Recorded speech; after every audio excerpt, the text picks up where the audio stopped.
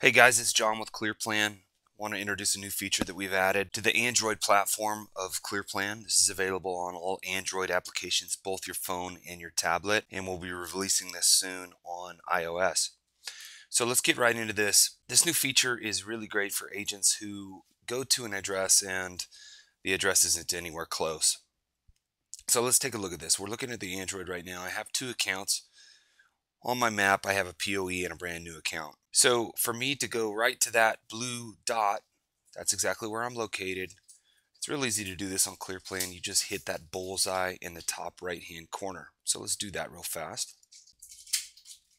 So now I'm in close to this to this icon and you can see my truck is where the blue dot is and the POE looks like it's about a block away. So the icon's not exactly where I want it to be.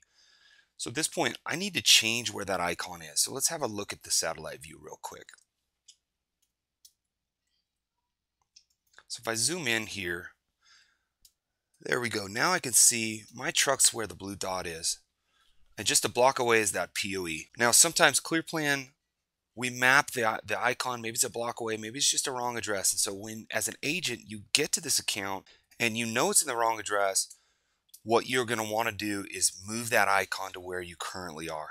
Or for example, if you are in an apartment building and the street address is on the front, but you know the debtor lives in the back, this is a great spot for you to take that icon, move it all the way to the back so that you can remind yourself or your other agents that in fact the debtor's in the back of the property. So for me to move this icon, all I need to do is touch on the icon and bring up the details. And now you'll notice a new icon at the very top in the black bar up there. We have the hand icon and it says move. So guys, this is what you're going to use to move that icon, okay? Now let's walk through it. All I do is click on the move icon and now I get to the change icon location. Okay, so what you can do from here is you can touch anywhere on the map and actually move the map around to where you want that icon to hit. See, I'm just moving the map around right now. And if I like it right there, that's good. I can hit save if I want to.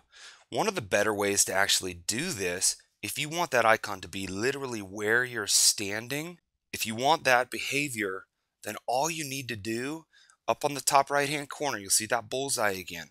If I click on that bullseye, that icon's going to center to exactly where I am. So let's watch this in action.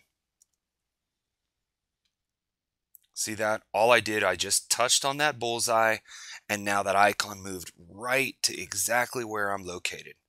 Once that's done, it's real easy. We just hit save in the bottom right hand corner and make sure that we confirm. And we get back here, we give you a message that says, hey, the marker location has moved. And the other thing I want you to notice also anytime you move an, an icon in ClearPlan, we always put an asterisk next to the address. That just lets you and your office and everybody else know that this icon has in fact been moved.